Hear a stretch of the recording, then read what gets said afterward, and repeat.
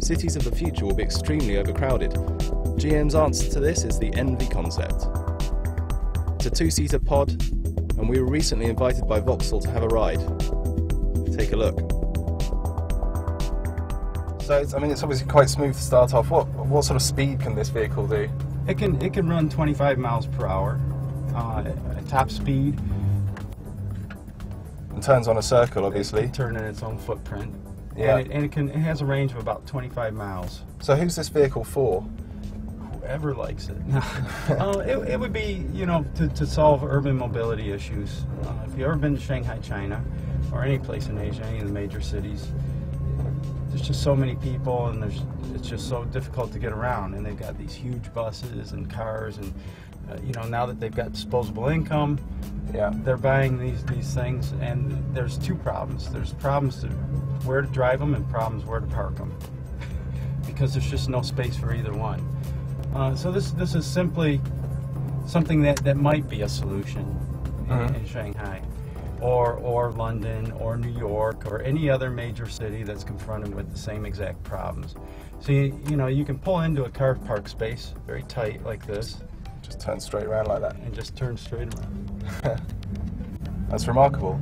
And so, uh, how much would this sort of thing cost? about ten thousand dollars U.S. dollars, Yeah. so eight thousand pounds, somewhere in that range, I'm guessing. And uh, what are the plans to bring it to production?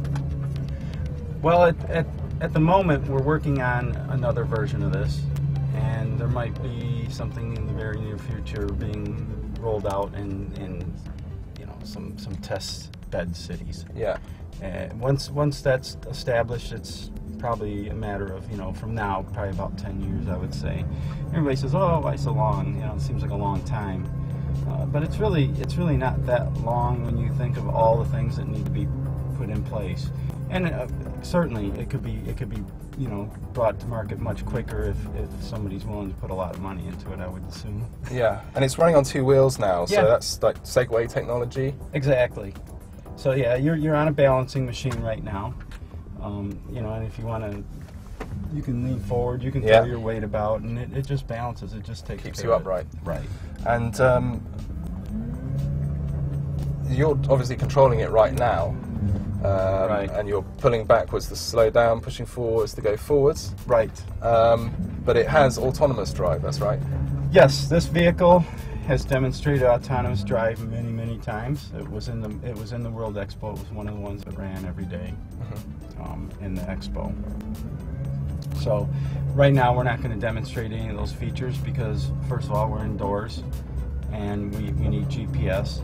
And secondly, if we even if we were outdoors, I don't have all the setup. I don't have the other vehicles for it to communicate with to, to show off the V2V capabilities. So, Yeah. you know, this this is just really to show you guys, you know, give you a feel and, and give you uh, a visual on what the, the, the real vehicles could look like. Mm. And again, this is just a concept. So what the real vehicles may look like may may look a bit different, but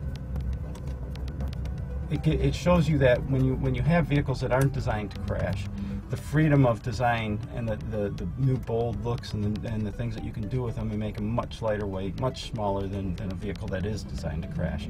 So that's that's one of the main things that you know you really want to focus on. Uh, the focus really isn't supposed to be on the balancing aspects of it. While it's certainly cool, Mm. uh, But the focus is on the, the talking to, the vehicle to vehicle talking to each other. Right. Well, the the the, the, v, the V2V stuff, the autonomous stuff, you know, because V2V can be used even on vehicles that aren't autonomous. So, you know, you might imagine that if you're driving about and the car can warn you that something's, you know, happening, you know, 15 minutes up the road, whatever, because it's talking to the other cars around it. And and, uh, and and that can be integrated maybe with the brakes, so maybe autonomy at the at the most mild form of it.